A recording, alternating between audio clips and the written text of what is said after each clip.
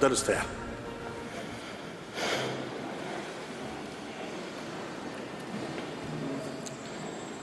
بسم الله الرحمن الرحيم. فخامة الرئيس فرانك فالتر شتاينمر الرئيس الاتحادي لجمهورية ألمانيا الفيدرالية اسمحوا لي أن أرحب بكم ضيفا عزيزا مرتين. المرة الأولى كأول رئيس لفخامتكم في زيارة مصر.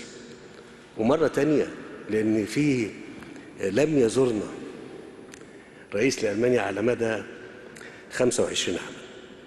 برحب بفخامتك في أول زيارة لمصر وكرئيس لجمهورية ألمانيا. أنتم الوفد المرافق لكم. الحقيقة الزيارة تمثل إضافة كبيرة ومهمة قوي لمسار العلاقات المصرية الألمانية. وانعكاسا لتاريخ ممتد من علاقات الصداقة والتعاون المشترك بين الدولتين والشعبين الصديقين. فخامة الرئيس نحن تحدثنا إن إحنا في مصر نقدر الشراكة وحريصين عليها وعلى تعزيز التعاون مع بلدكم احتراما لدولة ألمانيا وللشخصية الألمانية اللي إحنا بنعتز بيها وبنقدرها. وبنعتز إن أنتم أحد أهم أكبر الشركاء لينا في مصر. والحقيقة أنا معظم المشروعات اللي إحنا خلال السنوات اللي فاتت ديت كانت بمشاركة لشركات ألمانية مقدرة في مشروعات كبيرة زي مشروعات الطاقة ومشروعات النقل. وكان إسهام الشركات إسهام كبير ورائع ومقدر جدا من جانبنا الحقيقة. المشروعات القومية ديت كان ليها تأثير كبير جدا على في البنية الأساسية في مصر. ف وأنا عارف إن هيبقى في وفد من الشركات ديت واسمحوا لي إن أنا أرحب بهذا الوفد وأنا حريص على أن ألتقي به وأشكره على كل ما فعلوه خلال المشروع خلال عملهم في المشروعات اللي تمت في مصر خلال الفترة اللي فاتت. اسمحوا لي إن إحنا خلال حديثنا مع فخامة الرئيس ناقشنا باستفاضة كثير من القضايا على المستوى الثنائي وعلى المستوى الإقليمي. على المستوى الثنائي إحنا كنا بنتكلم على إن مهم قوي إن إحنا نستمر في تطوير العلاقات والتعاون بين البلدين ويمكن تشكيل آلية أو بناء آلية أو إيجاد آلية للتعاون الاستراتيجي بين البلدين بقيادة أو تحت إشراف وزيري الخارجية هيبقى إضافة كبيرة جدا في هذا الإطار. ثم تحدثنا أيضا على التعاون في مجالات مختلفة زي التعليم وبناء القدرات بين البلدين وده أمر إحنا بنقدره وبنرحب بيه ومستعدين يعني نتحرك مع شركائنا في ألمانيا إلى أكبر حجم ممكن من الجامعات والمدارس لأن إحنا محتاجين ده هنا في مصر. أنا هنا يهمني أن أنا أقول إن إحنا بنرحب بالشركات الألمانية للتعاون والاستثمار في مصر وباكد لهم إن مهم قوي إن أنتم تبقوا متأكدين إن إحنا استثماراتكم مؤمنة ومحمية بشكل كبير جدا وده التزام وأنا بأكده أمام إحنا تحدثنا فيه أثناء يعني نقاشنا الثنائي وحتى على مستوى الموسع ولكن أنا بسجله هنا في مؤتمرنا الصحفي إن إحنا بنسجل اولا التزامنا بحماية الاستثمارات بصفة عامة والاستثمارات الألمانية وأيضا المستحقات للشركات الألمانية. وضعا في الاعتبار وده أمر أنا تحدثت فيه مع فخامة الرئيس وبتحدث معكم فيه لأنه مهم قوي إن كمان الناس تعرف إن إحنا على مدى أربع سنين تعرضت مصر لأزمات ضخمة جدا جدا هي ملهاش دخل فيها. هي ما كانتش سبب فيها. ابتداء من أزمة كورونا ثم الأزمة الروسية الأوكرانية ثم الأزمة اللي موجودة حاليا بقالنا تقريبا داخلين على سنة فيما يخص قطاع غزة. حدودنا الثلاثة أنا بس ده كان حوار تم يعني نقاشه مع فخامة الرئيس ومع الوفدين لكن بقوله في المؤتمر الصحفي إن على حدودنا الثلاثة سواء كان على الاتجاه الجنوبي مع السودان أو الغرب مع ليبيا أو حتى دلوقتي مع إسرائيل وقطاع غزة. الحقيقة غير مستقرة وليها تداعيات كبيرة جدا واتكلمنا إن دي كان ليها تأثير على خلال ال 10 12 سنة اللي فاتوا وصل حجم إحنا ما بنقولش عليهم لاجئين وما بيعيشوش عندنا في معسكرات. إحنا عندنا تقريبا أكتر من 9 مليون آم، من آه، الضيوف اللي نزحوا إلى مصر نتيجة الأزمات اللي موجودة في بلادهم. في اليمن في ليبيا في سوريا في السودان في جنوب السودان من دول كثيرة جدا لكن المهم أيضا إن مصر كانت حريصة إن هي من سبتمبر 2016 ما يبقاش في مركب هجرة غير شرعية واحد آه، خرج من مصر في اتجاه أوروبا احتراما ومن منظور إنساني وأخلاقي إن إحنا ما نسمحش إن الناس ديت تترمي في البحر. وأيضا إن إحنا نكون سبب في المساس بأمن واستقرار آه، شركائنا في أوروبا. إحنا تكلمنا باستفاضة كبيرة جدا عن الأوضاع في غزة وأهمية الوصول إلى وقف لإطلاق النار وإيجاد آلية لإدخال مزيد من المساعدات للقطاع وأيضا إطلاق سراح اللاجئين وأيضا ما بعد الحرب. وأنا بقول هنا ل يعني في المؤتمر الصحفي ده إن مهم جدا جدا إن أوروبا آه، تقوم بجهد آه، كبير في هذا الأمر خلال هذه المرحلة من أجل آه، يعني تشجيع الأطراف أو الضغط على الأطراف. إحنا من جانبنا في مصر بنبقى حريصين قوي إن إحنا نقوم بدور إيجابي كبير سواء مع الفلسطينيين حماس تحديدا طبعا بالتعاون مع القطريين ومع الولايات المتحدة الأمريكية لكن مهم أيضا أن آه، أوروبا لها ثقل كبير جدا جدا ومهم قوي أن هي خلال هذه المرحلة المهمة أن يبقى في قوة دفع إضافية حتى نستطيع أن نصل إلى اتفاق يحقق الاستقرار ويخفف من معاناة الفلسطينيين في قطاع غزة. وأنا بسجل مرة تانية هنا فوق عن أربعين ألف تم آه، سقطوا في هذا الصراع تلتينهم من النساء والأطفال. وأكثر من مئة ألف مصاب. علاوة على أن القطاع بي- بيتم استخدام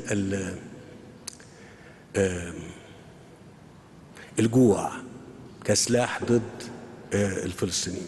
ده أمر أمر خطير جدا جدا. وبالمناسبة ده كان ليه تأثير كبير جدا على مصداقية آه، وفكرة القيم الخاصة بحقوق الإنسان اللي إحنا بنتكلم عليها بقالنا سنين طويلة. كان ليها تأثير كبير قوي لأنها الحقيقة ده كان يعني انتهاك صارخ لحقوق الإنسان وعلى مرمى ومسمع مننا كلنا وما قدرناش نعمل حاجة. آه، مرة تانية تحدثنا أيضا على بعض الموضوعات الخاصة بأهمية استعادة الاستقرار في المنطقة في دول زي السودان وزي ليبيا وبقية الدول حتى آه، يعني آه، ال- ال- حالة الاضطراب اللي موجود فيها الإقليم تنتهي وتتراجع وأيضا أن إن لا تنزلق المنطقة لاضطراب أكتر من كده آه، أو يتسع الصراع فيها أكتر من كده آه، في الضفة الغربية وجنوب لبنان واليمن وغيره. أختم كلامي إن إحنا تحدثنا أيضا على موضوع مهم جدا إحنا بنضع بنضعه في أولوياتنا هو خاص بملف مياه النيل وتحديدا سد النهضة والتفاوض مع آه، أثيوبيا فيما يخص الوصول إلى اتفاق قانوني ملزم بشأن ملء وتشغيل السد.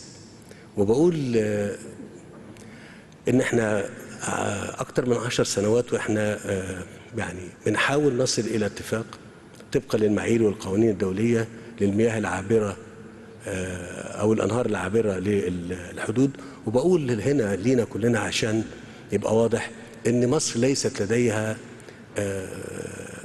وسيلة أخرى للمياه غير نهر النيل اللي بقاله آلاف السنين بيتحرك بلا عوائق. مرة تانية برحب بيك فخامة الرئيس وبالوفد المرافق ليك وسعيد بوجودك معانا في مصر. وأيضا أنا سعيد بشخصيتك الرائعة والساحرة اللي دايما منذ التقينا في برلين و... وأنا بسعد بيها. بشكرك وبرحب بيك مرة تانية وتفضل.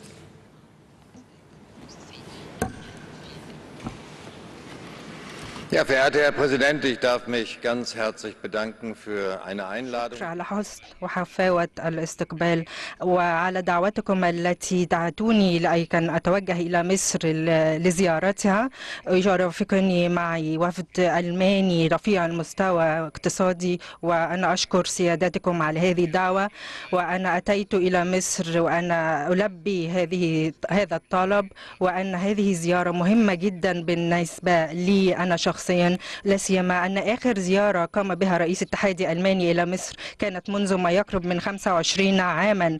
بمعايير الحضارة المصرية العريقة فإن هذه المدة تعد كأنها برهة زمنية قصيرة. إنما بآفاق السياسة الخارجية فإن آه، في التي يحدث فيها أشياء كثيرة فإن تلك الزيارة تبدو هذه المدة 25 سنة كأنها دهر مضى.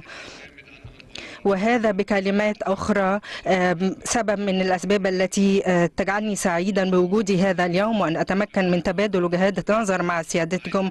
وهناك أسباب أخرى تدعوني للسعادة وهي أنكم آه، تتيحون لي الفرصة أن أشكر فخامتكم أشكر آه، لكم دوركم الذين تقومون به والتي تقوم به مصر في البحث عن إنهاء ال- التوترات والعنف في الشرق الأوسط وسوف أقوم بالرجوع إلى هذه النقطة مرة أخرى في خلال كلماتي ولكن اتيحوا لي الفرصة أن أتحدث عن علاقتنا الثنائية. لا أريد أن أتحدث عن علاقتنا القديمة جدا ولكن علاقتنا التي تربط بين مصر وألمانيا آه، ترجع إلى مئات السنين. إن الشحر الذي تكون آه، لألمانيا على الألمان هو كان ولا يزال كبير جدا والانبهار بها. إن العلاقات ال- التي تربط بين جمهورية ألمانيا الاتحادية ومصر تعود إلى أكثر من 70 عاما. هذه العلاقات الثنائية يمكن أن نقول أنها تاريخية. وهي تقوم على الثقة المتبادلة والتنوع.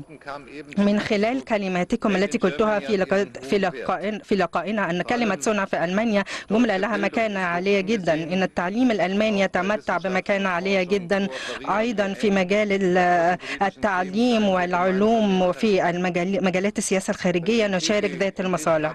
فخامة الرئيس السيسي وأنا تبادلنا اليوم وجهات النظر حول فرص تعزيز أواصر التعامل فيما بيننا في هذه المجالات. في أول نقطة في مجال التعليم إنها من دواعي سروري أن التعاون بين بلدينا في مجال التعليم جيدا جدا. فيوجد هنا سبع مدارس ألمانية معتمدة بالخارج و29 مدرسة شريكة أخرى يتم فيها تدريس اللغة الألمانية. يوجد جامعتان ألمانيتان ألمانية مصرية وهذا يجعلني أشعر بالسعادة وأيضا بالفخر. أن المؤسسات التعليمية الألمانية تتمتع بسمعة ممتازة لا سيما المدرسة الألمانية سان شارل برومي بالقاهرة والإسكندرية وكذلك المدرسة الألمانية الإنجيلية الثانوية بالقاهرة. هذا اليوم أول موعد لي كان في مدرسة الألمانية سان شارل برومي. وتمكنت من أن أرى هذا بنفسي أن أرى مستوى التعليم العالي وكان له أثر طيب على نفسي. أعجبت بالثقة بالنفس والانفتاح والرغبة في المعرفة وحب الحوار الذي استطعت أنا وجزء من وفدي أن نراه بين الطالبات. أنا سعيد أيضا بأن أعداد المصريين والمصريات ممن يقررون تعلم اللغة الألمانية في ازدياد. ففي السنوات الخمس الماضية تضاعف عدد تقريبا ليصل إلى حوالي 420 ألف متعلم للغة الألمانية. وأود أن أذكر أذكر أيضا المشروع الذي تدعمونه شخصيا وهو بناء 100 مدرسة ألمانية مصرية وأنا أعلم أنكم تدعمونه فخامتكم شخصيا. لدينا سبع مدارس ألمانية آه، ينقصنا الآن بناء آه، سب- آه، آه، 93 مدرسة أخرى. في إطار زيارتي سوف يتم توقيع اتفاقية التعليم العالي وهي بمثابة إشارة أخرى على التعاون الجيد فيما بيننا. إن التعليم العالي والتعليم الفني يتعين أن نتوسع فيه وتقوية أواصره لتقويته في مصلحة البلدين. إلى جانب العلم والتعليم نلقي نظرة على العلاقات الاقتصادية بين بلدينا. يوجد حوالي ما يقرب من 250 شركة ألمانية تعمل في ألمانيا تعمل بشكل متميز. وأتمنى أن نقوي أواصر التجارة والإستثمارات فيما بيننا وأن نتوسع فيها كذلك. إن الوفد رجال الأعمال المرافق لي رفيع المستوى وهو هذا الأمر دليل على رغبة ألمانية في ذلك. سيادة الرئيس نحن فخورون أيضا بأن شركة ألمانية تقوم ببناء خطط حديدية طويلة بين السويس قناة السويس والإسكندرية والقاهرة وتحديث الخطوط السكك الحديدية من خلال شركة زيمنز وهذا الأمر هو في الحقيقة مشروع رائد. مشروع ضخم لمصر رائع ورائد. هو جيد جدا لمصر ولكن أيضا لألمانيا من المتوقع أو المخطط له إنشاء ألفي كيلو متر من السكك الحديدية. ولكن هذه فقط السكك الحديدية. ولكن إلى جانب السرعة التي سوف تتيح لها هذه القطارات. وفي نقل الأشخاص والبضائع هو الجزء الخاص بالبيئة لأنها هذه القطارات سوف تقلل من انبعاثات ثاني أكسيد الكربون بنسبة حوالي 70% هناك أيضا تطور في اتفاق آخر لتوقيع اتفاقية أخرى تتعلق بتشغيل السكك الحديدية من خلال شركة دويتش بان وتدريب سائقي القطارات للسوق الألماني والمصري وهذا نموذجا رائعا للتعاون في مجال العمالة الفنية بين بلدينا. وقد تحدثنا بالإضافة إلى تدريب قائدي السيارات. أيضا كيف يمكن أن نقوي أواصر التعاون في فيما بيننا في مهن أخرى. لا يجب أيضا أن ننسى التعاون فيما بيننا فيما فيما يتعلق بالتعاون الثقافي. إن المعهد الألماني للآثار والعديد من الجامعات والعلماء يبحثون منذ عقود طويلة في مجال التراث الفرعوني ولكن أيضا في الحضارة المصرية القديمة. ومهتمون بالعصر العثماني يساهمون في خلال الحفريات والمشاريع البحثية وترميم المباني في كسب والحفاظ على المعرفة والحضارة. لقد كان علماء ألمان ما هم من تعاونوا مع باحثين مصريين في في اكتشاف حجرة بالهرم لم تكن قد تم اكتشافها بالقبل واستطاعوا من خلال الأدوات الرقمية من فك رموز ورق البردي أنا سعيد جدا بالنجاح العلمي والتعاون ولكن أيضا أن هذا النجاح العلمي سوف يكون دافع إلى آخر للتعاون الوثيق أيضا في مجال العلم بين بلدينا.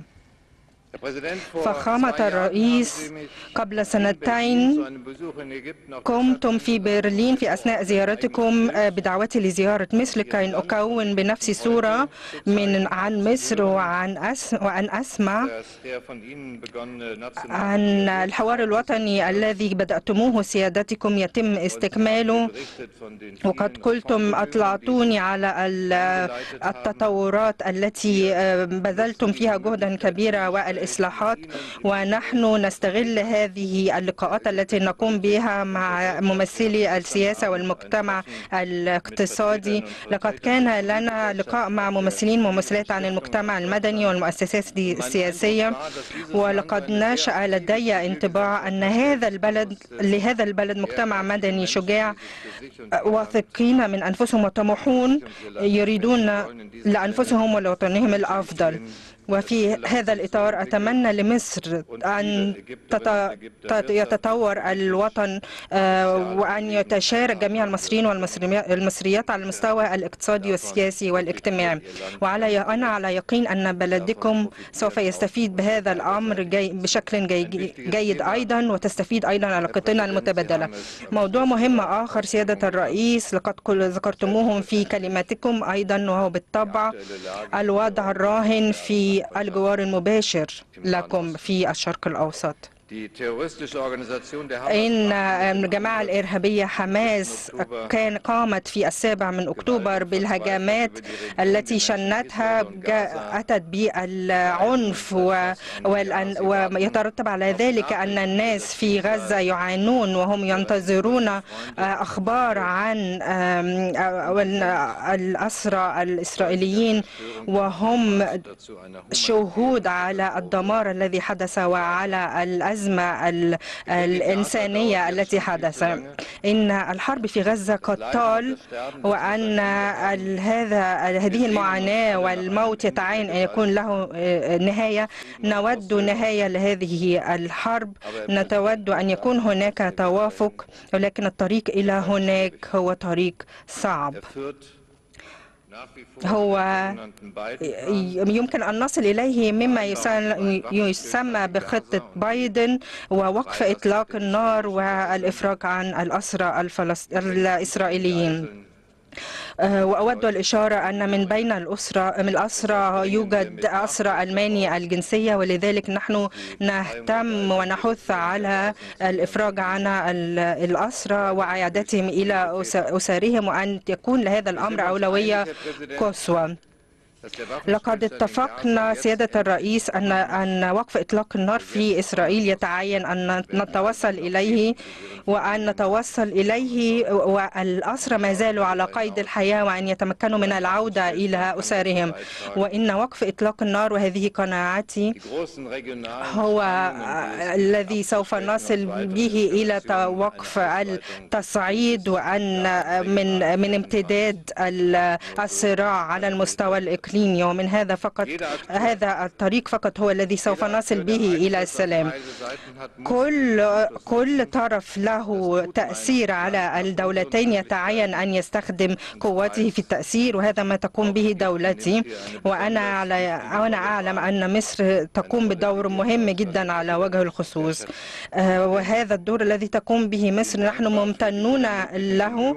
نحن ممتنون لفخامتكم للجهود الحثيثة التي تقوم بها مصر للتوصل إلى اتفاق بين إسرائيل وحماس. أنا أعلم ونرى ذلك في ألمانيا كل يوم في المساء في التلفزيون أن المعاناة في آه، معاناة الناس في غزة لا يمكن وصفها. من في الأسابيع الماضية دعوت آه، متطوعين كانوا في ألمان كانوا في غزة. في إيصال المساعدات الإنسانية إليهم وهم آه، نقلوا إلي الوضع الصعب الذي هو موجود الآن في غزة. آه، أنا على يقين أنكم تعلمون أن ألمانيا هي ثاني أكبر دولة مانحة على المستوى الدولي للمساعدات الإنسانية لغزة والأراضي الفلسطينية. وقد قمنا منذ عام 2023 بزيادة المساعدات أكثر من ثلاثة أضعاف. هذه المساعدات ما كانت لتصل دون دعم مصر. إن مصر كما قلتم فخامتكم تقوم بدور محوري في إيصال المساعدات الإنسانية وهذا الأمر يستحق تقديرا كبيرا وأشكركم على ذلك كثيرا. إن الوضع الإنساني في غزة لا يزال كارثيا. وفي هذا التحليل نحن متفقون. كذلك ونحن متفقون بأنه يتعين تغيير هذا الوضع وسوف يت- يت- يتغير فقط من خلال التوصل إلى وقف إطلاق النار. إذا تكلمنا عن وقف إطلاق النار وإخراج الأسرى فإننا نتحدث عن اليوم الذي يلي هذه الحرب. على المدى البعيد يتعين أن يكون هناك الأمن والسلام في المنطقة للتوصل إلى حل الدولتين. فخامة الرئيس. في موضوع آخر نرى أيضا آه، مصالح مشتركة فيما بين مصر وألمانيا وهو الأمن البحري في البحر الأحمر. نحن نعلم ما هي الأضرار الاقتصادية التي تترتب على ما يفعله الحوثيين لمصر.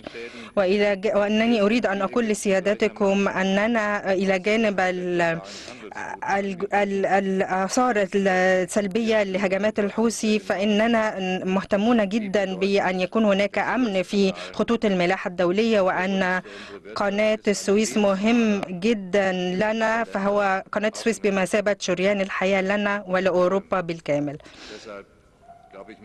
أنني أعتقد أننا علينا أن الشركاء الغربيين والعرب أن, أن نتوافق أننا لن نسمح أن تقوم أطراف مسلحة لا تنتمي إلى أي دولة أن تقوم بتقويض مصالحنا وهذا سبب أيضا مشاركة ألمانيا في مهمة أسبيدس.